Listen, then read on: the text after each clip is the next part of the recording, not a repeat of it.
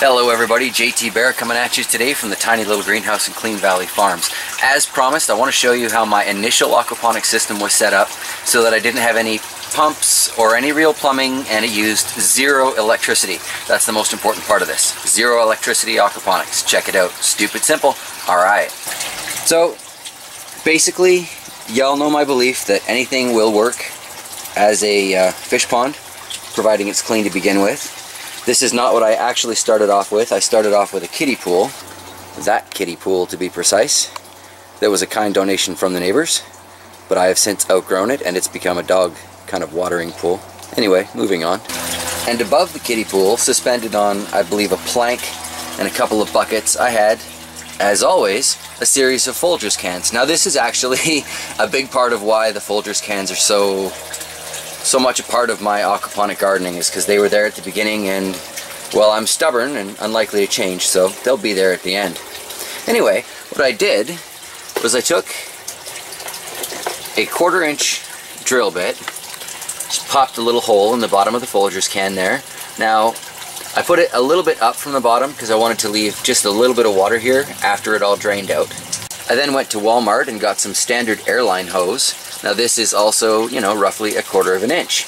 Conveniently enough, it fits right into that drilled hole.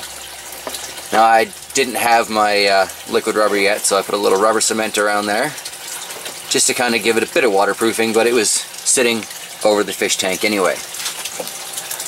Now what this does is that gives you the opportunity to take your hose and put it at whatever height you want it to drain from in your Folgers can. You want it higher up, just twist it a bit. Want it lower down, just twist it a bit. Okay? Pretty simple so far, right? Next, I ran around my yard and grabbed really seriously anything I could that I thought would uh, fill up the container and allow room for roots because like really I didn't want to spend any money on this at all when I first got started. I kind of didn't believe it would work. But I'm well past that now, aren't I? Anyway, so I filled these up. And to this day, you can still see some of the original plants from my aquaponic garden still in their Folgers containers.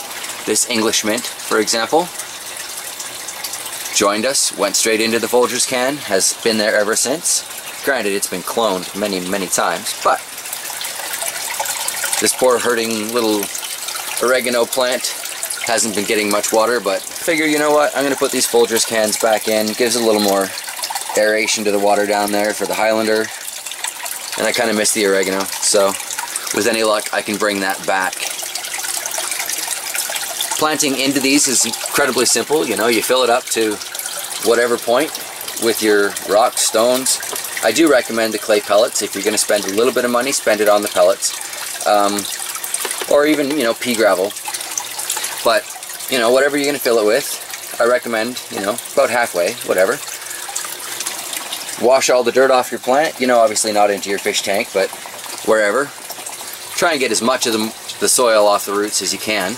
Doesn't really matter for these systems though, because the soil all gets caught in the rocks on the way down. And then top it up with whatever you're using. As you can see, I stopped just a little bit below the top on these. Right? Still with me? Stupid simple, right? Okay, next step.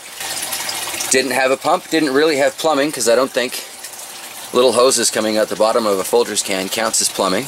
But, you know, I suppose technically it does. But to me, it really didn't. I think uh, most of us born before 1980 know what this is and probably have one in the house. This was my watering system. Every time I came into the back, I'd give the plants a little bit of water.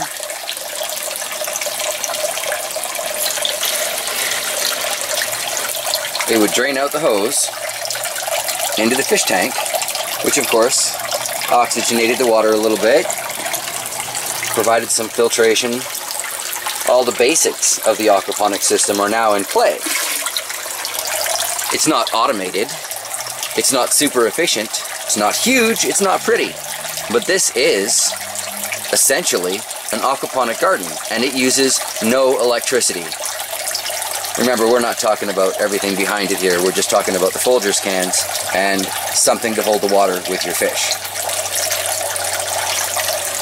If you're looking to get started in aquaponics and you want to grow some sturdy herbs, I, I really recommend this is the way to go. There are lots of different companies out there making similar plastic food safe containers that you can repurpose for your garden. Doesn't have to be Folgers. I'm not exactly promoting them. They just, well, they go on sale a lot and they're the only plastic coffee containers we have in town. So the real question is, as primitive as this is, does it work? And I guess the answer is, this is what I started with three years ago, and this is what I'm working with now. You know, there's one aquaponic system here, another aquaponic system over here, and I want to get acreage so I can build an even bigger one. So I think I'm going to say it worked well enough that I'm sold for life.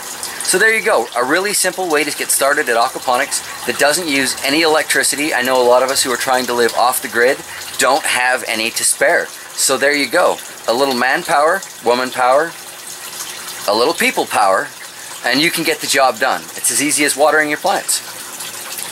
So that's it for uh, JT Bear right now, coming at you from the Clean Valley Farms greenhouse. And uh, have yourselves a fantastic day.